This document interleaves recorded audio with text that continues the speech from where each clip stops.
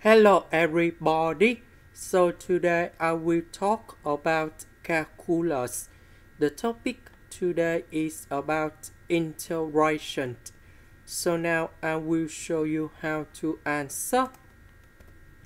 We need to use about integration by substitution. So I will put about u equals to this one.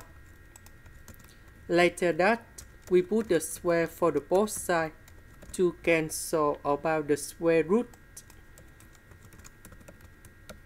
Next, we need to do first the derivative for the both sides. First, the derivative of u square, we have to u du. First, the derivative of x to the power of 3, we have 3x square dx.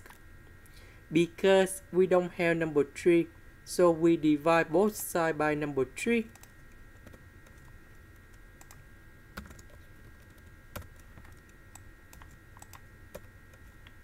This one we change by u.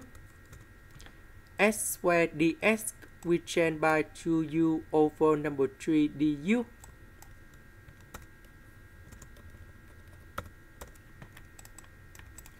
So I will put 2 over 3 go outside.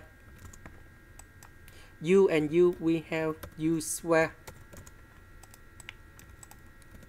The integration of u square we have u to the power of 3 over 3 and then I will put about c. So number 3 and number 3 we have 2 over 9. About u that is about this one. This is the end. Thank you for watching.